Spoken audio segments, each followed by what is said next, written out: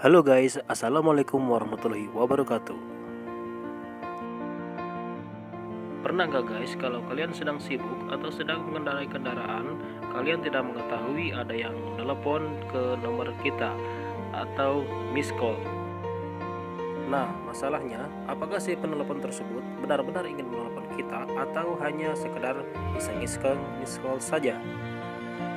Untuk mengetahui apakah si penelpon atau si pemiss call tersebut benar-benar ingin menelpon kita atau hanya iseng-iseng miss call saja, yaitu dengan mengetahui berapa durasi waktu menelpon si penelpon tersebut. Nah, bagaimana cara kita mengetahui berapa lama si penelpon dalam melakukan panggilan dari awal mencoba menghubungkan telepon dan sampai akhirnya ditutup sendiri atau oleh operator. Simak video penjelasan berikut ini.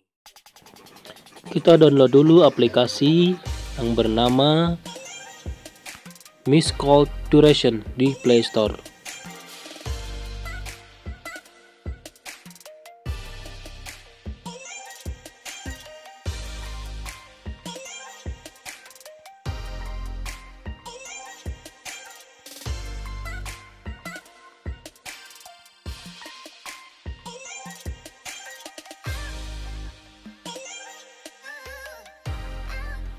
Berikut adalah contoh yang miss call kita.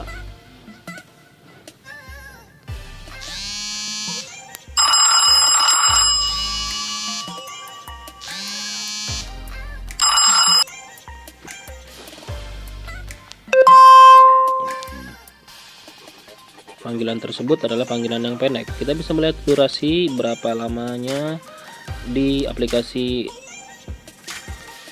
miss call duration kita buka aplikasinya.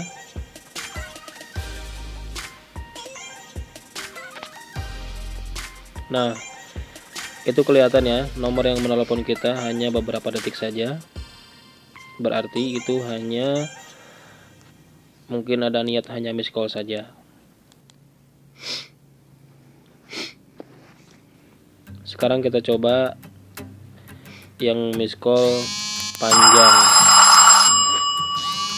durasinya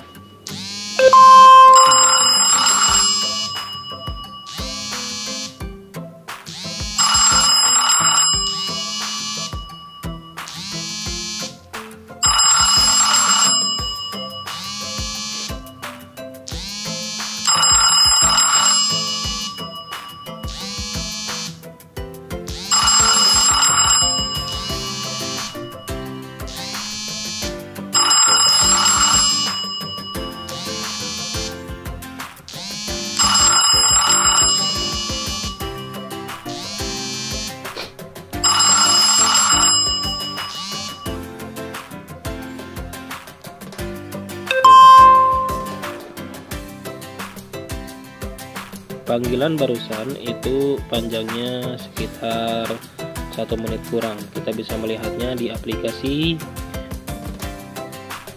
call duration. Nah nomor yang sama melakukan panggilan dua kali yang satu pendek yang satu lagi panjang. Yang pendek berarti kita bisa menyimpulkan bahwa yang pendek itu hanya menelepon kita untuk miss call saja dan mengharapkan ditelepon balik. Yang durasinya panjang mungkin dia benar-benar ingin menelepon kita tetapi tidak terangkat oleh kita. Demikian cara mengetahui durasi si pemiss call. Mohon maaf atas segala kekurangan Mudah-mudahan bermanfaat. Wassalamualaikum warahmatullahi wabarakatuh.